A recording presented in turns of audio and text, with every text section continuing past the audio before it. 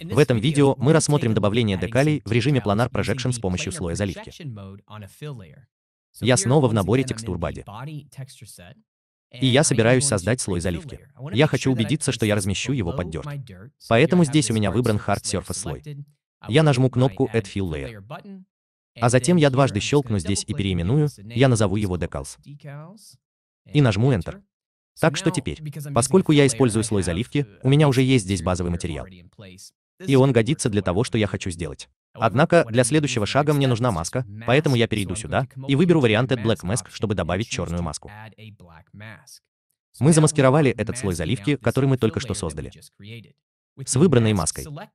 Я перейду к Add Effect и добавлю Add Fill к этой маске.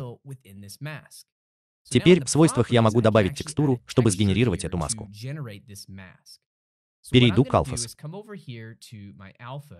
И я буду искать фонд.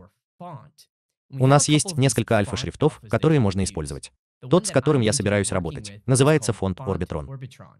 Сделаю левый клик и перетащу это сюда на вход в Grayscale. Далее изменю режим Projection на Planar Projection. В 3D-видео у нас есть бокс, охватывающий нашу модель, который представляет объем проекции. Для проецирования этого слоя заливки здесь, в 3D-пространстве. В верхней части панели инструментов, если вы не видите объем, есть возможность показать или скрыть манипуляторы. Вы можете включить это.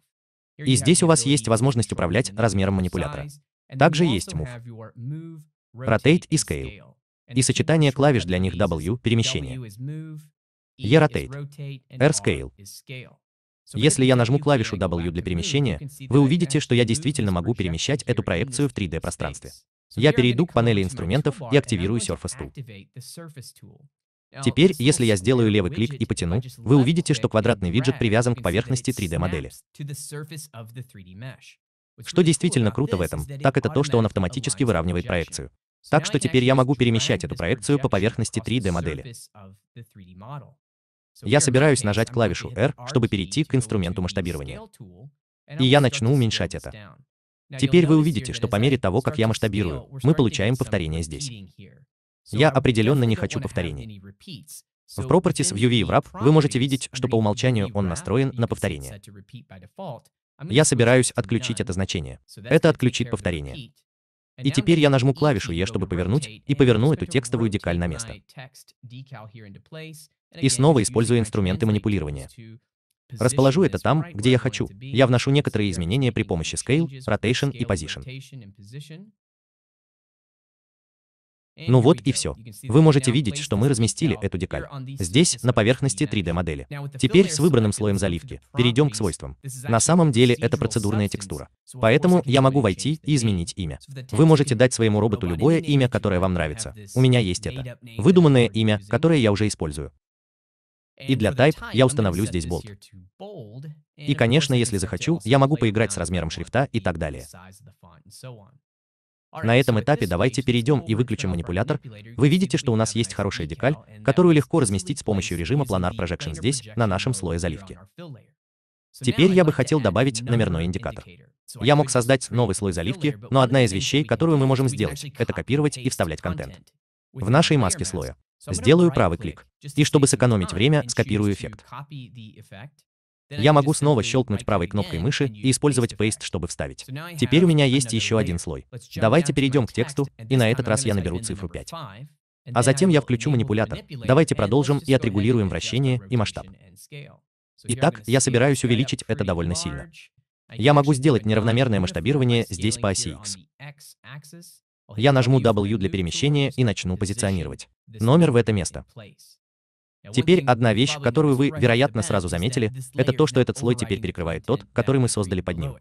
Нет проблем, потому что с этими слоями заливки у нас также есть доступ к режимам наложения. Поэтому, чтобы объединить эти два слоя вместе, я переключу режим наложения для верхнего слоя заливки в режим Lighten Max. И теперь я вижу эффект обоих слоев заливки.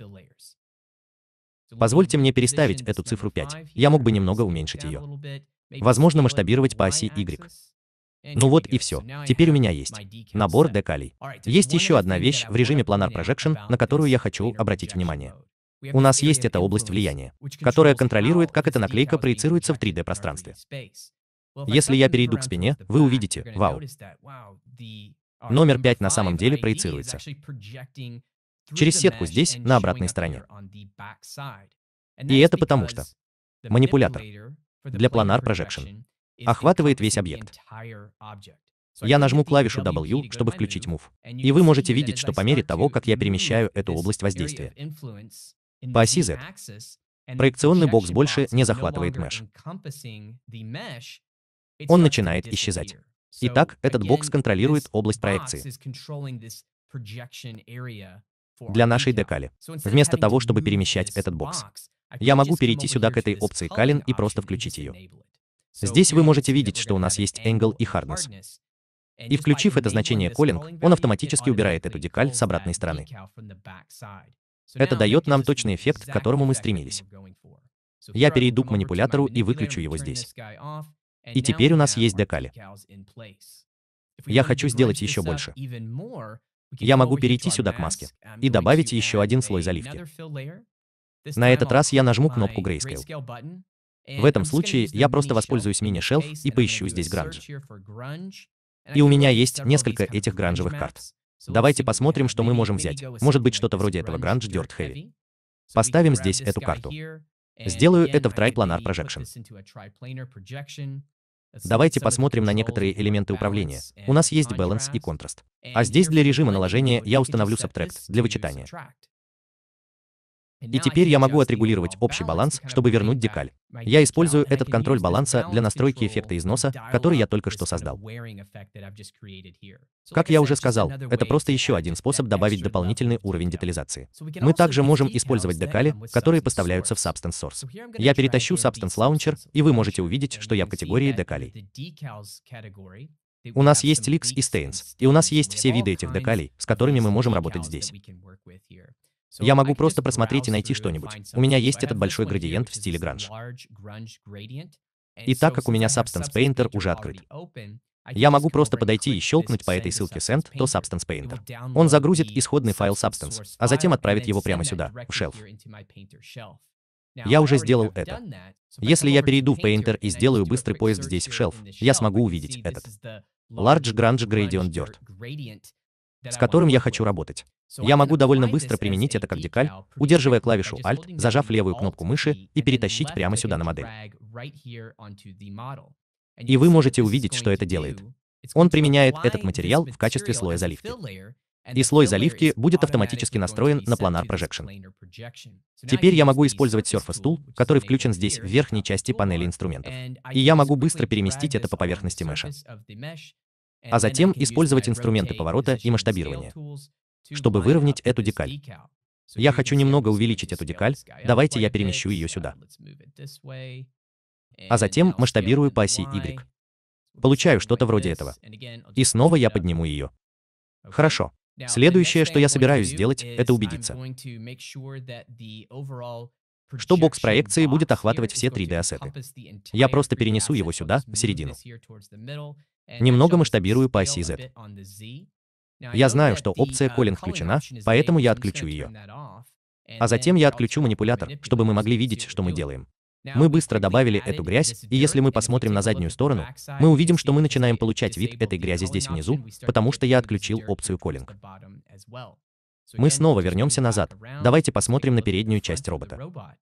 Если мы перейдем к нашему материалу, а это действительно материал, поступивший из Substance Source, у меня есть здесь элементы управления. Я могу поиграть с некоторыми из этих значений, чтобы подобрать здесь какой-то вариант.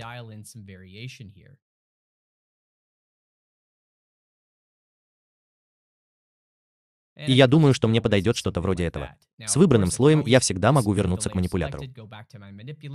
А затем перемещать это здесь по мешу, так как я хочу. Я думаю, что сейчас я остановлюсь на чем-то вроде этого. Это был быстрый способ, которым я добавил некоторые декали, которые есть в Substance Source. Прямо сюда, в Painter. Итак, это завершает это видео. Мы полностью затекстурировали нашего робота, а в следующем видео мы посмотрим на то, как мы можем экспортировать наши текстуры.